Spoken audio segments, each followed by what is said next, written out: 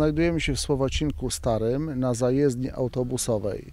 Gmina Biała Podlaska ma zorganizowany transport autobu- autobusowy miejski, który świadczy nam usługi przewozu osób. Realizuje to Miejski Zakład Komunikacji i Gmina Miejska Biała Podlaska.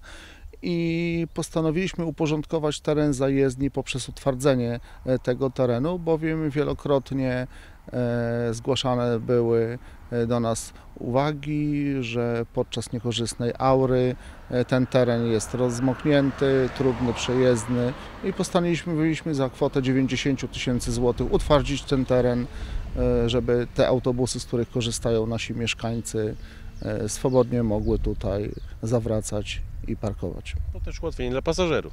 E, Dokładnie tak, bo jest tutaj również i przysta- przystanek i pasażerowie nie będą teraz musieli przez drogę nieutwardzoną, błotnistą czasem w przypadku roztopów i deszczów e, przechodzić, spacerować, natomiast będzie to utwardzone i położony asfalt. I też do końca roku.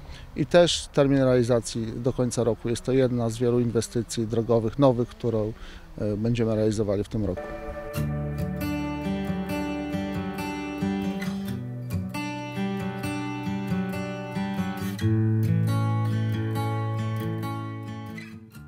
E, Znajdujemy się dalej w Słowacinku Starym e, przy kolejnej inwestycji, którą planujemy do zrealizować w tym roku. Stosowne umowy zostały już podpisane na realizację tego zadania.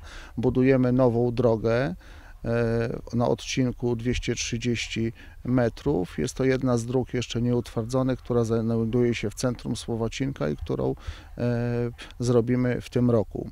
E, Całość inwestycji to 1 54 tysiące złotych i okres realizacji zakończenia grudzień 2023 roku. E, No to jeśli chodzi o nowość, bądź taką, taką, taką dopowiedź, to jest to droga i ulica z krawężnikiem.